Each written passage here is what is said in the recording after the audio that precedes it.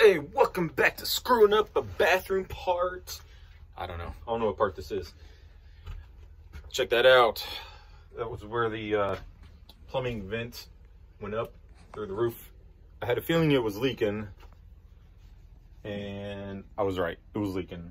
So I was like, yeah, screw it. Let's uh, redo it all. So I was out here. I did part of this last year because the roots were in right there real bad where the PVC meets. It was broken there. There was a lot of roots stuck in there.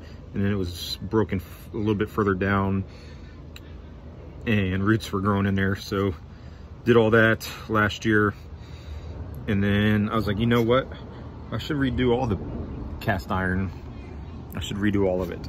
Um, so I got my, uh, whatever that thing is, the uh, hammer drill out, chiseled out the block. So I got this part out through that. And then like, check that. See how clogged that nasty, that pipe? That's pretty gross. That was for the sink. I got part of it redid, uh, redone the other, like last year as well. I think it was last year. It was just really bad.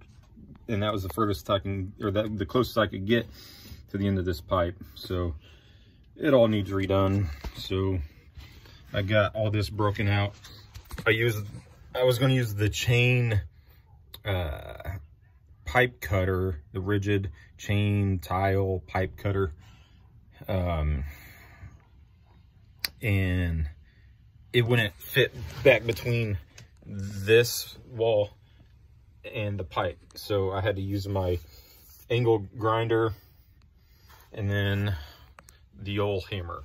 So I cut out a section as deep as the uh, grinder would cut because you got the head of the grinder and it would hit the pipe and the disc diameter is not big enough to go through the whole three inch pipe. So I cut a section this way and then I cut a section this way and then I was able to just smack it with the hammer, break that out, uh, get the grinder in a little bit more, break it. And then I did the same thing down here.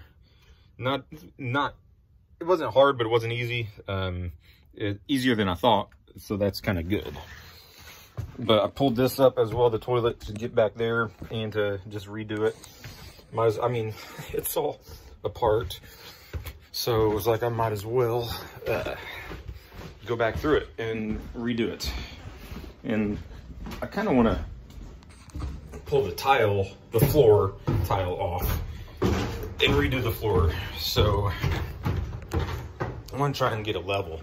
Would be nice, but it is a lot more work. And then as you can see down here, chiseled that out. It was pretty easy because I got this uh, this hammer drill with a few bits of chisel as well. Um, I think it was like 30 bucks at an auction. I mean, that's a heck of a deal. Real nice, big, solid. Uh, it's upstairs. I can show it to you. But uh, Bosch, like a Bulldog or something, I don't know. But worked a lot better than I thought at breaking that out. So that's ready to come out here. That's ready to come out. That's loose. This is loose. And then I kind of spilled some nastiness, so it kind of stinks down here right now. I'm gonna have to clean that up. But I'll redo all this and be, see they redid some of it, but this bathroom just sucks. Like that, that was brand new. I had that put in when I moved in here 10 years ago. Actually, no, maybe uh, five years ago when I bought the house. No, when I started to buy the house. Um, I don't know. It's been a while, like three to five years, because I did rent to rent to own for a little bit. Uh, land contract is what it's called. But we redid this because it was leaking onto the floor, and I didn't want the toilet leaking into the house. So yeah, you see that's all ready to go. But that's the that's where I'm at right now. And there's the chain one that I used to break right here.